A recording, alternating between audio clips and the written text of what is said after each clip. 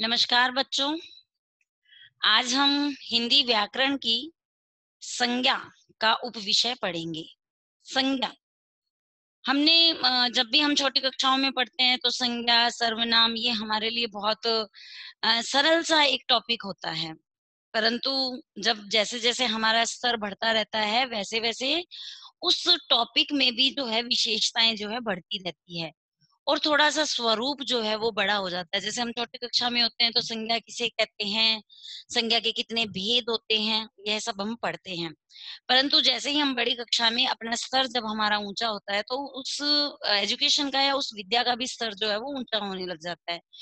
तो देखिए सबसे पहले यहाँ पर एक चित्र दिखाया गया है कि बदलू मनिहार था, चूड़ियाँ बनाना उसका पैतृक व्यवसाय था। हमने बदलू वाला चैप्टर पढ़ा, बदलू और लेखक वो अपने गाँव जाता है, मामा ने कहकर काका कहता है। तो यहाँ पर देखिए ये पिक्चर उसी तरीके की दिखाई हुई है। बदलू मनिहार था, चूड़ियाँ बनाना उसका पैतृक व्यवसाय था। उसकी चूड़ियों की सुंदरता की सब प्रशंसा करते थे, वह पेड़ के नीचे बैठा रहता था। उपयुक्त पंक्तियों के पढ़ने पर निम्नलिखित बिंदु जो है वो हमें मिलते हैं, जैसे बदलू, उसके बाद में मनिहार, पेड़, व्यवसाय, चूड़िया सुंदरता, प्रशंसा। अब यहाँ पर बदलू, बदलू कौन है? एक व्यक्ति का नाम है बदलू और मनिहार, पेड़, व्यवसाय ये जाति का नाम है। चूड़िया ये वस्तु है, चूड़ी क्या हुई? वस्तु, सुंदरता और प्रशंसा भाव का नाम है। तो ये जितने भी शब्द हैं वो किसी ना किसी नाम को व्यक्त कर रही हैं। ये सभी जो है वो संज्ञाएँ हैं। अब यहाँ पर एक बात देखिए, जैसे हमने अ, हमने पढ़ा बदलू, मनिहार, चूड़िया जाति का नाम, है ना? ये सब हमने पढ़े हैं। अब इतना तो हमें समझ में आ गया कि बदलू व्यक्ति है, मनिहार पेड़, व्यवसाय जाति का नाम है, चूड़िया वस्तु का नाम है, सुंदरता, प्रशंसा भाव का नाम है। तो संज्ञा किसे कहते हैं? अब उदाहरण हमने पढ़ लिया है, अब हमें कि संज्ञा क्या होती है? संज्ञा की परिभाषा क्या है? ये प्रश्न बनता है कि संज्ञा किसे कहते हैं या संज्ञा की परिभाषा लिखिए। तो देखिए, जिस शब्द से किसी वस्तु, प्राणी, स्थान या भाव के नाम का बोध होता है, उसे संज्ञा कहते हैं। जिस शब्द से किसी वस्तु, प्राणी, स्थान या भाव के नाम का अभी हमने एक उदाहरण देखा कि व्यक्ति का नाम आया बदलू, पेड़ आया जाति का नाम, चूड़िया आई वस्तु का नाम और सुंदरता आया भाव का नाम। तो सिंपल सी बात है कि जिस शब्द से किसी व्यक्ति, वस्तु, प्राण, स्थान या भाव के नाम का बोध होता है, उसे संज्ञा कहते हैं। अब उसके बाद में जैसे कुछ एग्ज़ाम्पल्स हैं इसके, जैसे प्राणी, तो प्राणी में कौन आता है? राधा, कृष्ण, राम, घोड़ा, शेर, बालक, पिता, मोर, चिड़िया, गाय आदि। आप कुछ भी प्राणी में ले सकते हैं। स्थान, किसी स्थान से रिलेटेड जैसे हम मैं आगरा जा रहा हूँ, तो कौन-सा स्थान है? आगरा। मैं लखनऊ से आया हूँ, तो कौन-सा स्थान से आया हूँ? लखनऊ। तो इस प्रकार से आगरा, लखनऊ, दिल्ली, नगर, आप कहाँ रहते हो? मैं मेरे घर में रहता हूँ, तो घर। आप कौन-सी जगह रहते हो? मैं उस गाँव में रहता हूँ, तो गाँव, है ना? तो राजधानी आदि इस प्रकार से स्थान से संबंधित आ गया। वस्तु, वस्तु क्या होती है? यह किसकी चीज़ है? तो यह पुस्तक मेरी है। आप किससे फ़ोटो खींच रहे हो? मैं कैमरे से फ़ोटो खींच रहा हूँ, तो कैमरा, फल, गेहूँ पर्वत, कलम, पानी आदि इस प्रकार से वस्तु। भाव, किसी का भाव आना, जैसे बच्चा है, तो बच्चे का क्या भाव है? बचपन, कोई बहुत सुंदर है और सुंदरता को उसको देखते ही कहते हैं कितनी सुंदर है। तो सुंदरता, हम मिठाई खा रहे हैं तो अपने आप मिठास का भाव आता है, हम खट्टी चीज़ खा रहे हैं तो खटास का भाव आता है। कोई हमारा दुश्मन है तो सीधा मतलब गुस्सा आता है, शत्रुता का भाव आता है, कोई फ्रेंड है, मित्र है, तो मित्रता का भाव आता है, इस प्रकार से। अब हमने पढ़ा कि संज्ञा किसे कहते हैं, तो हमें पता लग गया कि जिस शब्द से किसी वस्तु, प्राणी, स्थान या भाव के नाम का बोध होता है, उसे संज्ञा कहते हैं। अब ये हमने पढ़ लिया, अब आता है कि संज्ञा के कितने भेद होते हैं। हमें पता है, हमने प्रारंभ काल में जब हमारी पढ़ाई शुरू होती है, जब हम तीसरी-चौथी कक्षा में होते हैं, यहाँ तक कि दूसरी कक्षा में होते हैं, तो तब से हमें पता है कि संज्ञा के तीन भेद होते हैं। पहला व्यक्तिवाचक संज्ञा, दूसरा जातिवाचक संज्ञा और तीसरा भाववाचक संज्ञा। तो इतना जो ये है कि संज्ञा के कितने भेद हैं, संज्ञा के तीन भेद हैं, व्यक्तिवाचक संज्ञा, जातिवाचक संज्ञा, भाववाचक संज्ञा, ये तो हम हमेशा से पढ़ते हैं और हमें इस चीज़ का पता है। परंतु जैसे-जैसे हमारा स्तर बढ़ता है, वैसे-वैसे उसका विशेषण करना, उसको बढ़ा क चढ़ाकर बात को समझाना ज़रूरी होता है। अब देखिए व्यक्तिवाचक संज्ञा। यहाँ पर आप ये चित्र देख रहे हैं, तो जिस संज्ञा शब्द से किसी एक ही व्यक्ति, प्राणी, वस्तु या स्थान के नाम का बोध हो, उसे व्यक्तिवाचक संज्ञा कहते हैं। जिस संज्ञा शब्द से किसी एक ही व्यक्ति, प्राणी, वस्तु या स्थान के नाम का बोध हो, उसे व्यक्तिवाचक संज्ञा कहते हैं। देखिए जैसे वाजश्रवा ने दक्षिणा देना आरंभ किया, नव्या पढ़ने में बहुत होशियार है। चंद्रशेखर आज़ाद महान क्रांतिकारी थे, नागपुर के संतरे प्रसिद्ध हैं। अब यहाँ पर देख रहे हो ना आप कि ये जो कुछ रंगीन पद हैं, वाजश्रवा, नव्या, चंद्रशेखर आज़ाद, नागपुर, तो ये सब क्या है? इस पूरे जो वाक्य है इसमें एक विशेष बात है और विशेषता को दर्शाने के लिए हम कुछ अलग से उसको मॉडिफाइड करते हैं जैसे वाजश्रवा, नव्या, चंद्रशेखर आज़ाद, नागपुर रंगीन शब्दों में है। तो ये विशेष हैं और व्यक्तियों के तथा स्थान के नाम है तो यहाँ इसको व्यक्तिवाचक संज्ञा ये बन गया।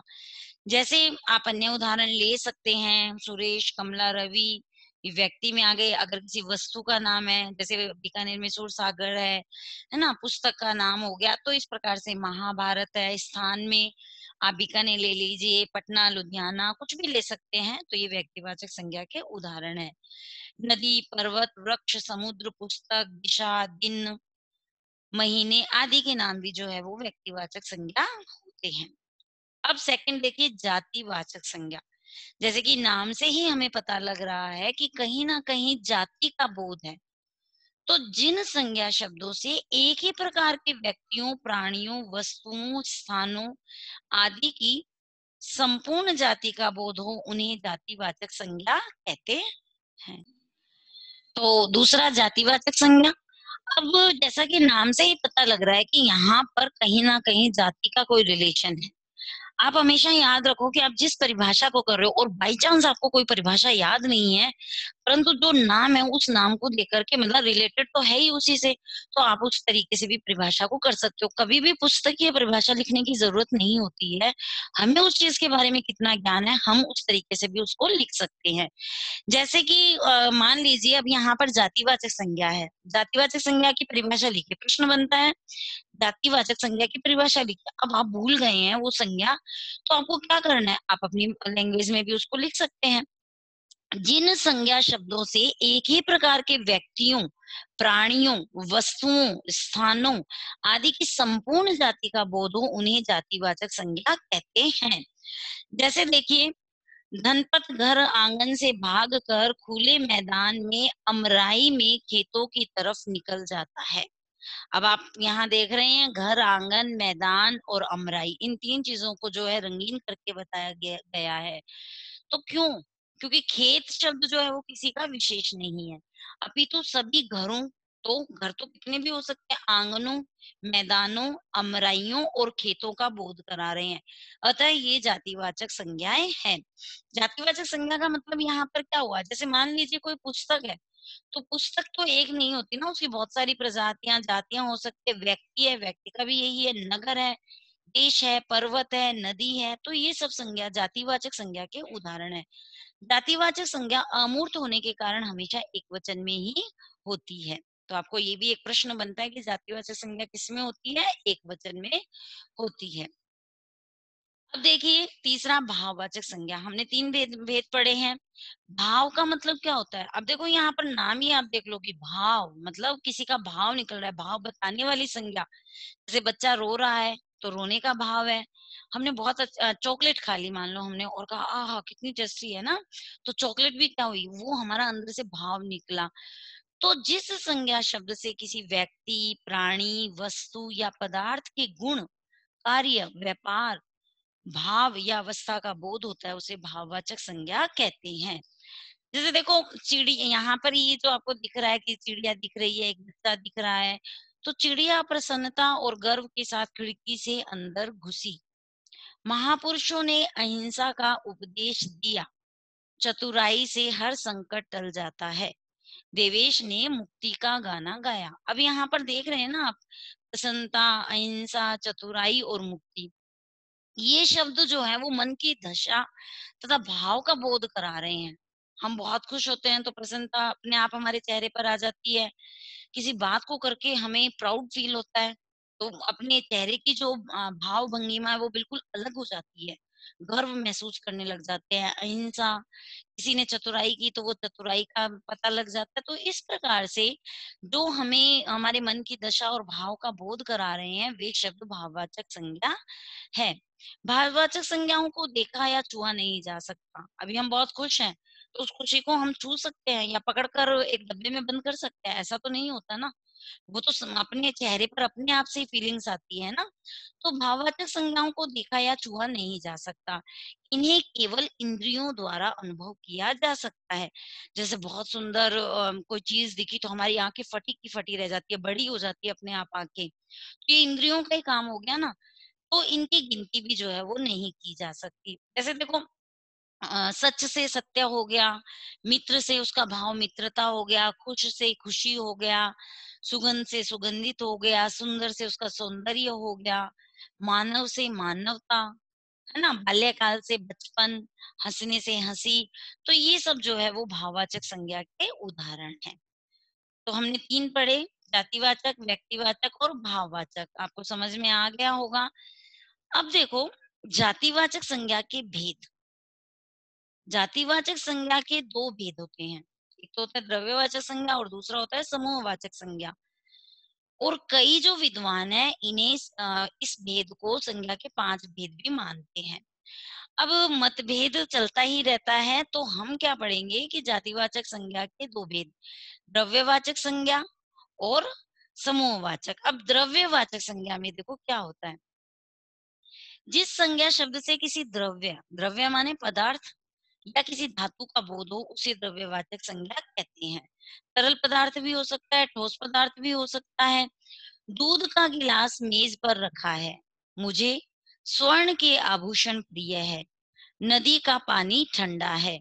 खेतों में गेहूँ की फ़सल तैयार हो गई। अब यहाँ पर देखो दूध का गिलास मेज पर रखा है। अब दूध का गिलास तो दूध क्या हो गया इसमें? दूध, स्वर्ण, फिर पानी, गेहूँ, ये सब हमें किसका बोध करवा रहे हैं? ये सब हमें ये शब्द जो है हमें द्रव्य और धातु का बोध करा रहे हैं। जैसे स्वर्ण है तो धातु हो गई, दूध है तो तरल पदार्थ द्रव्य हो गया, है ना? पानी हो गया, तो इन्हें भी गिना नहीं जा सकता। हम गिन सकते हैं क्या गेहूँ हम कहते हैं ना एक बोरी 16 क्विंटल गेहूँ चाहिए, 14 क्विंटल तो उसमें दाना तो नहीं गिनते कि चौदह क्विंटल में 1000 दाने आए हैं, ऐसा तो कुछ नहीं होता ना। दूध को भी हम नहीं गिन सकते हैं। तो जिन्हें गिना नहीं जा सकता, केवल नापा और तोला जा सकता है। कहते हैं ना एक किलो दूध दे दीजिए, चार किलो दूध दे दीजिए। तो जिसे नापा और तोला जा सकता है, अतः ये शब्द जो है वो द्रव्यवाचक संज्ञा के उदाहरण है। तो समझ में आ गया द्रव्यवाचक संज्ञा जिस संज्ञा शब्द से किसी द्रव्य मतलब पदार्थ या धातु का बोध हो उसे द्रव्यवाचक संज्ञा कहते हैं। जैसे मिट्टी, अनाज, लोहा, कोयला आप अन्य उदाहरण में ये तो ले ही सकते हैं, इसके अलावा अगर आपके मस्तिष्क में भी कुछ घूम रहा है तो आप उनको भी ले सकते हैं। अब देखिए समूहवाचक संज्ञा, मैं हमेशा आपको यही बात कहती हूँ कि कभी भी परिभाषाओं के जाल में मत फंसो अगर आप परिभाषाओं के जाल में फंस जाओगे तो आपको जो याद है वो भी आप सब भूल जाओगे। अब देखो समूहवाचक संज्ञा सीधी-सी बात है, आपका नाम है, जैसे मेरा नाम क्या है आप सबको पता है या किसी का भी नाम हम ले लेते हैं, जैसे किसी का नाम अमन है। अब उसको पूछ लिया कि आपका नाम अमन क्यों है? तो वहाँ पे हम कंफ्यूज थोड़ी होते हैं, हमें पता है अमन का मतलब सुख, शांति, चैन है। तो हमें अपने नाम का अर्थ पता है ना, तो हम परिभाषित कर सकते हैं। सेम वही चीज़ इसमें कि समूह वाचक संज्ञा। अब समूह मतलब ग्रुप, ऐसा ही लग रहा है कि किसी ग्रुप को या समूह को जो है वो यहाँ पर परिदर्शित करना चाहता है। तो देखो जिस संज्ञा शब्द से किसी समूह का बोध हो, सिंपल सी परिभाषा है। हम संज्ञा पढ़ रहे हैं, अगर आप सर्वनाम पढ़ते हो तो जिन सर्वनाम शब्दों से और संज्ञा पढ़ रहे हो तो संज्ञा, कारक पढ़ रहे हो तो कारक। जिस संज्ञा शब्द से किसी समूह का बोध हो उसे समूहवाचक संज्ञा कहते हैं। अब यहाँ पर देखो एक दृश्य दिखाया गया है जिसमें समूह में बैठे हैं, तो आप कठपुतली का नृत्य देखने भीड़ उमड़ पड़ी, पुलिस ने स्थिति पर काबू किया, नेताजी सभा में भाषण दे रहे हैं, काव्या का परिवार खुश है। तो यहाँ पर देखा आपने ये जो वाक्य दिए उनमें कुछ ऐसे शब्द हैं जो समूह का प्रदर्शित कर रहे हैं, जैसे भीड़ है ना? पुलिस, सभा, परिवार तो ये सब समूह का बोध करवा रहे हैं। ये शब्द जो है वो समूह का बोध करा रहे हैं इसलिए ये समूहवाचक संज्ञा है। अन्य उदाहरण में अब आपके दिमाग में आ गई होगी कि ये चीज़ें हो सकती है, ये शब्द हो सकते हैं। जैसे आप कक्षा में बैठते हो तो भी समूह होता है। आप किसी सभा में बैठते हो तो समूह है। परिवार में ताया, चाचा, दादा, नाना, मामा परिवार बहुत बड़ा होता है तो परिवार भी एक समूह हो गया। सेना, भीड़, झुंड जा रहा है, है ना? तो इस प्रकार से ये संज्ञा के अन्य उदाहरण है हमने अब पढ़ा संज्ञा का अब व्यक्तिवाचक संज्ञा और जातिवाचक संज्ञा के रूप में प्रयोग। अब हमने व्यक्तिवाचक संज्ञा की परिभाषा पढ़ी थी, हमने जातिवाचक संज्ञा की परिभाषा पढ़ी, हमने उनके उदाहरण लिए, तो सिंपल सी बात है, ये हम आसानी से कर सकते हैं, है ना? जब व्यक्तिवाचक संज्ञा से किसी विशेष व्यक्ति का बोध ना हो, अपितु उस गुण को रखने वाले सभी व्यक्तियों का बोध हो, तब वह संज्ञा जातिवाचक संज्ञा बन जाती है। जैसे आज भारत में घर-घर विभीषण विद्यमान है। इस वाक्य में विभीषण रावण का भाई न होकर घर के भेदी के रूप में है, यह गुण का द्योतक है। दो प्रकार की बातें द्योतक माने दो प्रकार की बातें आ रही हैं। एक तो विभीषण सरलता का कह सकते हैं सरलता को दर्शाते थे और दूसरा वो रावण का भाई ना होकर घर का भेदी कहा गया है। तो समझ में आई बात? अब जातिवाचक संज्ञा का व्यक्तिवाचक संज्ञा के रूप में प्रयोग कैसे होता है? हमने जातिवाचक संज्ञा पढ़ी, फिर हमने व्यक्तिवाचक संज्ञा भी पढ़ी। अब इनका संज्ञा के रूप में कैसे प्रयोग होता है? तो देखो ये प्रश्न बनते हैं कि जातिवाचक संज्ञा को व्यक्तिवाचक संज्ञा में कैसे परिवर्तित कर दिया या कुछ एग्ज़ाम्पल दीजिए इस प्रकार से। कभी-कभी जातिवाचक संज्ञा से किसी व्यक्ति का बोध होता है, यह उसकी प्रसिद्धि के कारण होता है, उस समय वह व्यक्तिवाचक संज्ञा बन जाती है। अब आपने पटेल पढ़ा, अब यहाँ पटेल की आज सख्त ज़रूरत है। तो पटेल शब्द जाति का सूचक है, पटेल जाति भी होती है, परंतु वल्लभ भाई पटेल के गुण के कारण वह व्यक्तिवाचक बन गया है।